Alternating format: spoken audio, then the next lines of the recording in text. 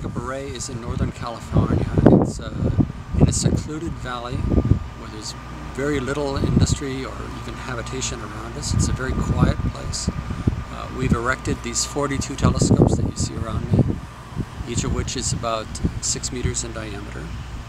And this is a centimeter wave telescope, which is about the same frequency range as your microwave oven.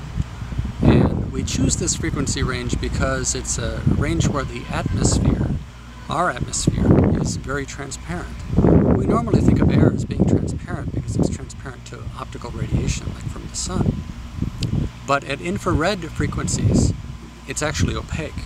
And if you could see in the infrared, you wouldn't be able to see the stars. You wouldn't be able to see the sky, even the clouds, because it would all be fog. You'd be surrounded by fog.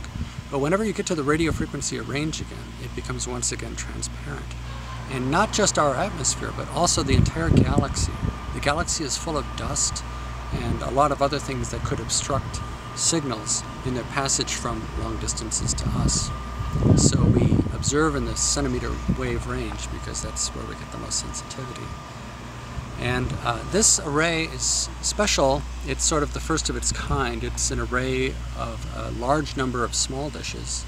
You wouldn't think that a six meter dish like these two-story giants is small, but by radio astronomy standards, they are quite small. The array that you see around you is only a small fraction of the array that we plan and we have designed for. Uh, we plan to build 350 dishes and uh, that will approximately give us 10 times more collecting area, 10 times more sensitivity to those signals that are coming from outer space.